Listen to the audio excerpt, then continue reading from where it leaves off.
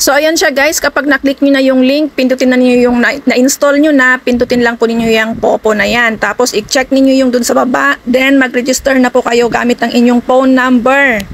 So ayan. Pag nalagay ng phone number, pindutin yung next.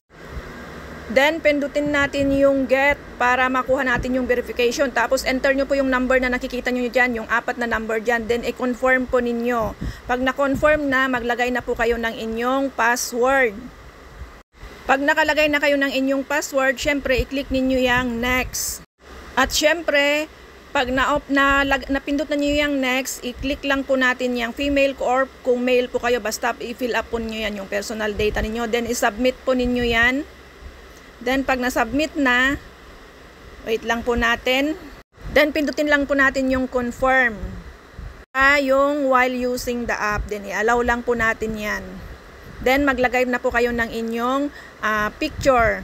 Hanap na po kayo ng picture na pwede ninyong mailagay na kahit na ano. Basta, tapos, kailangan pag binerify ninyo, yung mukha ninyo sa camera, yung authentication, dapat, ano, makuha ni, ni Popo ma-detect po niya.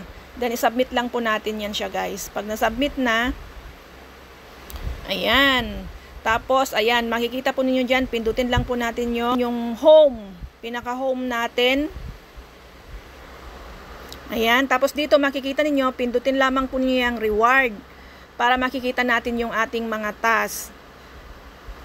At ayan, hintayin lang natin na mag-open guys para makita natin yung mga task natin. So ayan na po yung mga task natin. Makikita niyo dyan yung daily live duration 60 minutes, 120 minutes. So ayan, i-click, uh, mag-start po tayo sa 60 minutes. 1 hour po tayong magla-live tapos makakuha na po tayo ng 20 cents.